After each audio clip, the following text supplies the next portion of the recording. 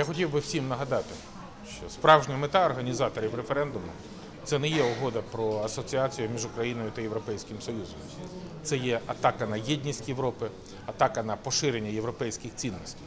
Про це також свідчить та дискусія, яка була розгорнута напередодні референдуму.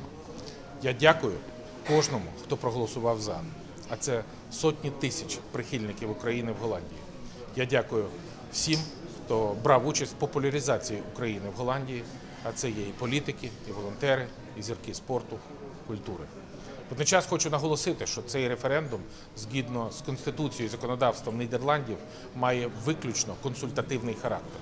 Отже, тепер слово за урядом, за парламентом, за політикумом Голландії. Впевнений, що стратегічно ця подія не є перешкодою на шляху України до Європи. Хочу відповідально заявити, що незважаючи на це, Україна продовжить втілювати в життя угоду про асоціацію, забезпечить створення поглибленої та всеохоплюючої зони вільної торгівлі з Євросоюзом, оскільки це шлях до модернізації української держави зміцнення її незалежності. Наголошую, ми не звернемо з шляху євроінтеграції Україну, як і свободу, не спинити.